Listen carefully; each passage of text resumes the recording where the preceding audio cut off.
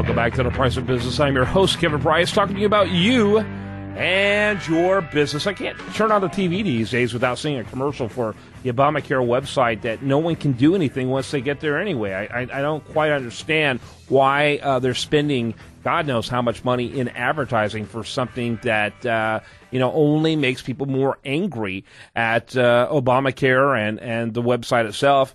Alleigh Marre, she is with the National Republican Congressional uh, Campaign Committee. Is that right? NRCC Congressional yes. Committee.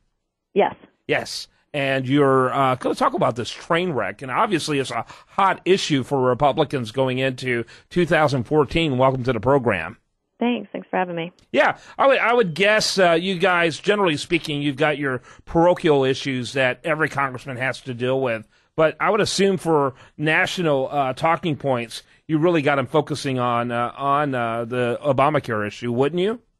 Yeah, we do. Um, I mean, you, you don't have to really hear it from us to know that it's a it's a train wreck, as you pointed out. It's it's everywhere, and it's difficult for Democrats to hide from. So we plan on making sure that everyone understands who's responsible for this mess and before the next election.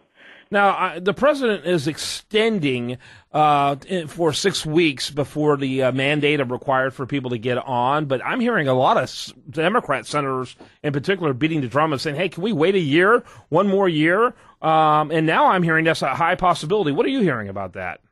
Um, well, we hope that's the case. I mean, there, as you pointed out, there are a lot of Democratic senators over on the Senate side that are asking for that um, to be extended beyond the March deadline. But I mean, the bottom line here is that um, you know, this was extended for big business. So President Obama makes that concession for business, but not for American families, and it's just, you know, it's just not appropriate. Very, very inappropriate. It's un- uh, really unbelievable how you know uh, in the bath he is for uh, the largest corporations in America, but has this common disregard of the people that he continues to play on to get reelected. Yeah, absolutely. I mean, it's just a, an issue of, of basic fairness. There's hundreds of thousands of people that are getting, you know, cancellation notices from their current insurers, and that's a far cry from what we heard during the election, which was if you like your health insurance, you can keep it.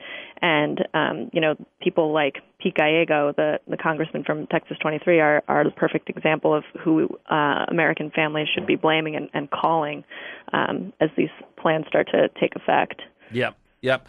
So as far as talking points go, you know, uh, what is what are some other hot issues that the Democrats are going to have to deal with in 2014? You know, besides the Obamacare.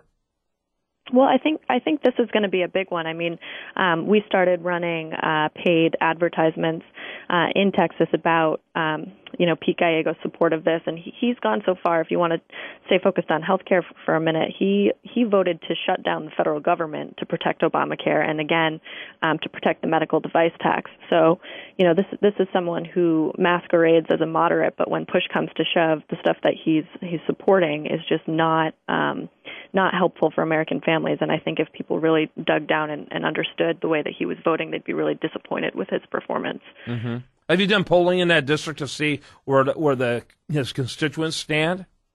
Um, you know, not recently, but um, I will certainly keep you abreast when we when we do have some of that.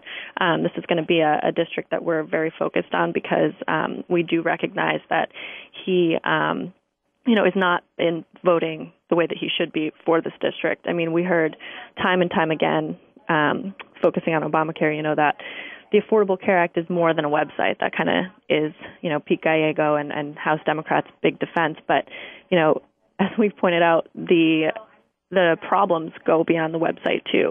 So, you know, there, there's all these problems with it's not clear whether or not enough young, healthy people are going to sign up. The costs are high um, and far higher than a tax would be for the non-compliant. So I think you're going to see the law kind of start to crumble beyond the website, and it's going to be really bad news for um, for Pete Gallego, and certainly it's going to be helpful when we do start running some more polling in the district. Pete Gallego, he won by uh, 10 percentage points in 2012. Mm-hmm. How, so you really think he's vulnerable? I do, um, because I think once you drill down and you and you look beyond his talking points of you know oh, I'm a moderate, and you look at things like, you know, how far he has gone to support this quote train wreck of a bill. Again, you know, voting to shut down the government to protect it, and also the medical device tax. That's another um, area of the bill that has broad support from both Republicans and Democrats, uh, you know, among all um, branches of the government in the Senate as well. There's a lot of Democrats um, who have put forth their own versions of a bill that would repeal the medical device tax, and I think it's it's far recognized that these are things that are not good for our country as a whole. Um, that Pete Gallego is to the left on. Mm-hmm. So most of our listenership, I think, is probably in the greater Houston area. You know, mm-hmm. who do you see vulnerable uh, in the Democrat front here in Houston? Because you're talking about a guy who is uh, several hours away from us. Right. Um, you know, I, I think anyone who is, um, you know, tying their name to this to Obamacare is going to have problems. I mean, there was an editorial in The Atlantic this morning, which is widely recognized as being a you know, a leaning left publication and their their headline was the stunning ne- negligence that doomed Obamacare's launch and that's something that's going to be felt um, far and wide everywhere in the country. So you know a couple segments from that said Obamacare wasn't competently run. The details are embarrassing. I mean I could go on all day from stuff we pull from articles. So I think anyone who is closely aligned with any component of this bill and who has a voting record to protect it is going to be a, going to have a hard time. Yeah, very interesting. I think it. I think it's got. A, it's a great wedge issue. I think Obamacare mm-hmm. is, and uh, any uh, Republican who's not beating that drum, shame on him. Not only because of the constitutionality and the economic uh, efficacy issues and all those type of things. It's just a great political football. Yeah, so it's interesting. I, I, like Gene Green. I'm assuming Gene Green's a, uh, an Obamacare guy, but I don't know how vocal he's been about that. He, of course, is one of our local car. Of course, Sheila Jackson Lee, who apparently, mm-hmm. apparently, I, I mean, I, no one can beat her, which is to me the most hilarious thing I've ever seen in my life. I mean, you would think uh, you would think uh, Minnie Mouse be able to take her down, but uh, uh, apparently she's unbeatable. But I always thought that Gene Green was vulnerable if a Hispanic were to run, you know, a conservative Hispanic would have run in in his district, uh, and and unfortunately, there has been one or two, and they lost. So I don't know. Uh, I, I, guess you're hitting on this particular guy because you see numbers uh, that that show some kind of vulnerability there. Yeah. Yep. That is that is correct.